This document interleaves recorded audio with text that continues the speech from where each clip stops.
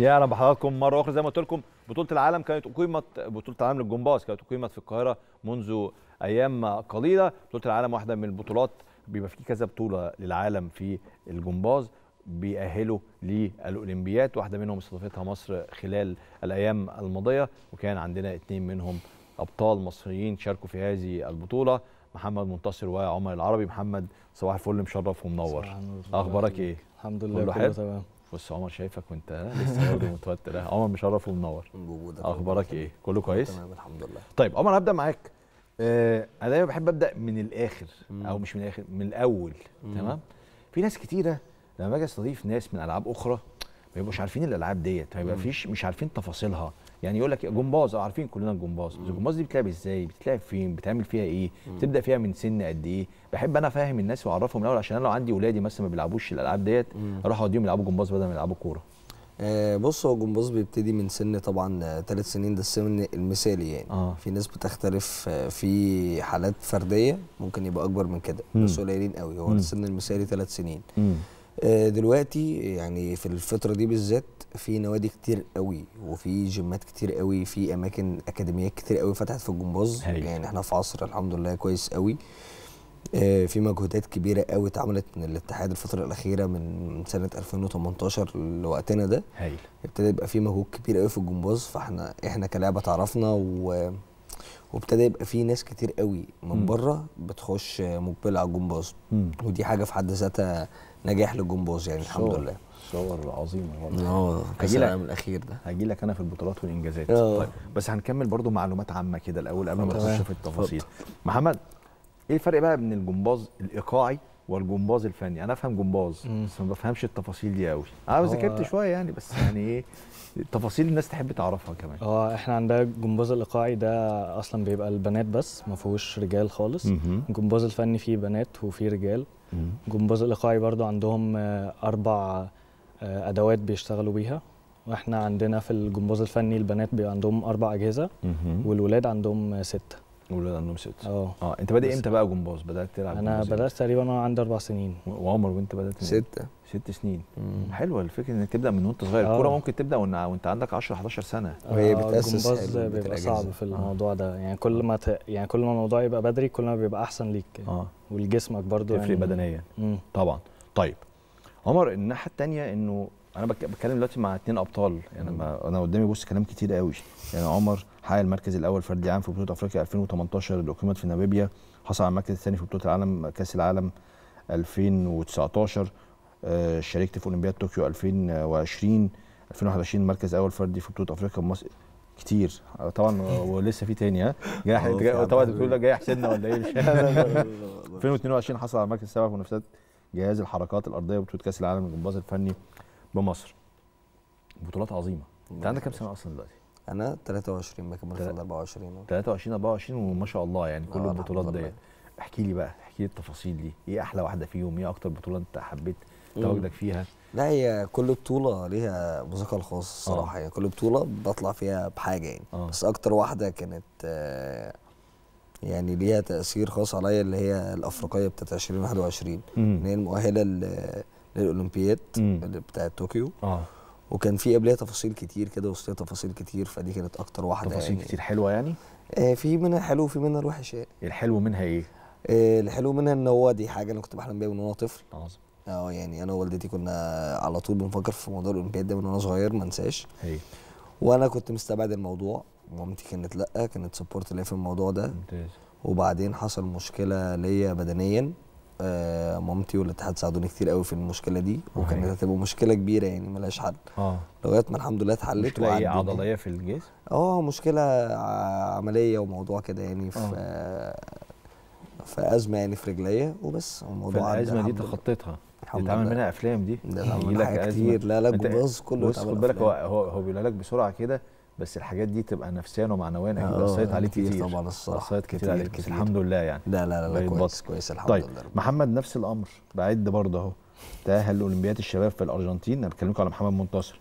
بعد حصوله على المركز الأول في البطوله الافريقيه في ناميبيا توج بذهبية حصان الحلم في بطولة البحر المتوسط للجمباز بتونس. الحصول على المركز الثالث في الفرق الأول على أفريقيا في بطولة العالم. شارك مع المنتخب الوطني ببطوله كأس العالم 2021 بسنه القاهرة الدولي. المركز التاسع على جهاز المتوازي في كأس العالم في مصر 2022 برضه حاجات كتيرة قوي.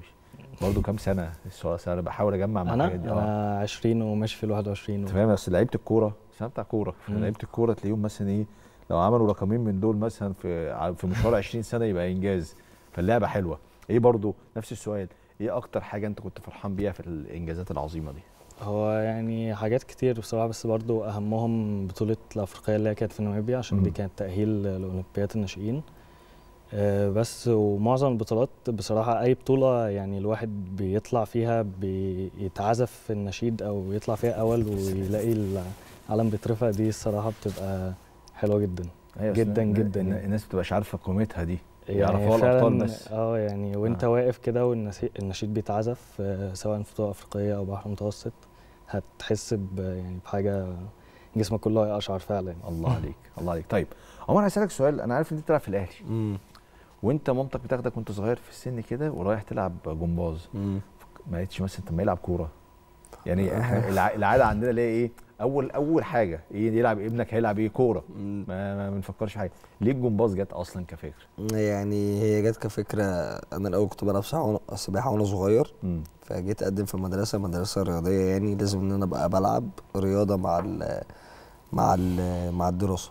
امم فمدير فني شافني قال لمامتي ده مستقبل ممكن يبقى كويس في الجمباز فانت شايفة مستقبلك كرياضي مش كشرط فلوس أو الحاجة السهلة يعني مش مستقبلك كرياضي فابتديت أتجه للجمباز ابتديت أبقى فيه كويس. إيه، جيت في فترة أنا عايز أبطل وأنا صغير حسيته عذاب كده. مجهود كبير. آه آه. فهي خلاص براحتك عايز تبطل ما تبقاش بطل براحتك بس إيه هو ده مستقبلك.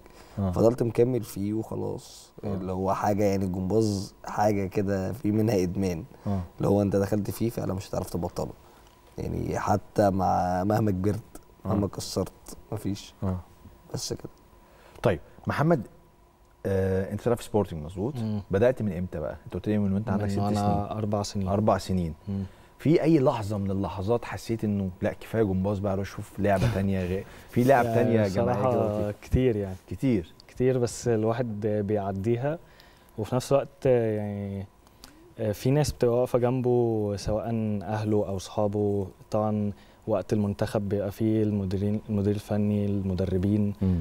يعني في ناس بتبقى واقفة جنبك كل ما يبقى في حاجة تحس إنك بترجع لورا أو مش قادر أو تعبت أو خلاص لأ بيساندوك ويقفوا جنبك ولا أنت تقدر تكمل وتقدر تدي زيادة. فالموضوع ده قابلني كتير يعني بس الحمد لله الواحد بيعديه عظمة جدا. بطوله العالم الأخيرة بقى. مم. عملتوا فيها إيه؟ الأجواء كانت عاملة إزاي؟ الإنجاز عملت فيه إيه؟ كأس العالم الأخير آه، ده حاجة الصراحة مشرفة يعني. أصل هو كأس العالم ده مؤهل لأولمبياد آه،. باريس وإن إن أي دولة تستضيف كأس عالم مؤهل ده موضوع صعب في لعبتنا. فإن مصر تاخد كأس العالم ده وتطلعه بالشكل ده كان حاجة الصراحة وهم يعني. مم. وإحنا كلاعيبه الحمد لله طلعنا بأداء مشرف جدا. فمصر بينت إن هي تقيلة إن هي تقدر تستضيف بطولات. عظيم. عندها إمكانيات فنية وبرضو اللاعبين لأ إحنا بنتخانق مع بتوع بره لأن إحنا اللي موجودين. ما كانوش لعيبة عادية. إحنا 34 دولة. أكتر من كام لعيب ناس كتير قوي واقلهم بطولات عالم. يعني كلهم الناس اللي الأساطير اللي كنت بشوفهم وأنا صغير في الجمباز هو اللي بلعب معاهم دلوقتي. عظمه فلا الموضوع الصراحة محمد أنت إيه الأخبار في البطولة دي؟ راضي عن اللي أنت آه. عملته راضي عن الزمالك عملوه راضي عن تنظيم البطولة بشكل عام؟ هو طبعا التنظيم كان حاجة هايلة جدا. مم. البطولة يعني كانت متقسمة على يومين إحنا عندنا ست أجهزة فكان في تلاتة أول يوم وتلاتة تاني يوم. أنا كنت المفروض هلعب جهاز في أول يوم وجهاز في تاني يوم آه آه، أول يوم يعني ربنا ما وفقنيش قوي في أول جهاز مهم. يعني حصل فيه وقعات وكده. فيمكن الواحد كان متضايق شوية أول يوم بس تاني يوم الحمد لله في المتوازي عملت آه، جملة حلوة جدا وكنت آه. راضي عن نفسي جدا فعوضت يمكن أول يوم بالنسبة لي وبالنسبة لناس كتير فاتبسطت قوي يعني بتاني يوم ده عظمة جدا بص بقى آخر سؤال. ملوش علاقة بالجمباز. ليه علاقة بمنتخب مصر وماتش السنغال.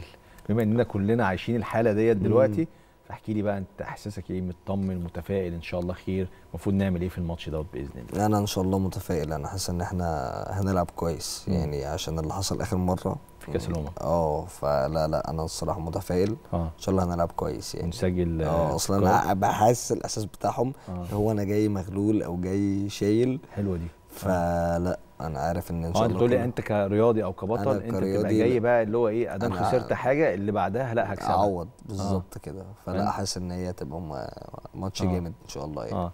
محمد.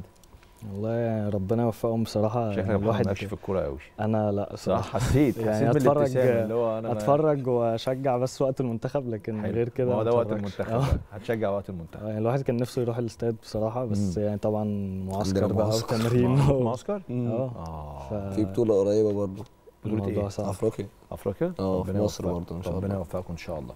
طب هنكسب كام إن شاء الله آه، صعبة دي بس قول واحدة كده 2 1 عندنا مثلا 2 1 خليها ثلاثة خليها ثلاثة خليها 3 ثلاثة 1 2 0 تلاتة حلو. 3 1 ده ما يخش فينا جول أنا بدخل فينا جول عشان ده ماشي. باثنين أنا بشرح له بقى أنا عارف هو جمباز واضح اهو. آه خليها 3 خلاص 1 ماشي 3 1 خليها 3 1 تمشي ربنا 3-1. يسلم ان عمر. شاء الله. خير ان شاء الله لا أنا؟ بقول 3 1 الصراحة. 3 1 إن شاء الله. عمر شرفت ونورت. حقيقي ومليون. مبروك ودايما يا رب في انجازات ودايما بطل على طول. يا رب يا رب. محمد يا رب دايما نشوفك بطل على طول. شكراً. أنا بشكرك. شكرا جزيلا. لسه مكملين مع حضراتكم بعد هذا الفاصل إن شاء الله. نواصل باذن الله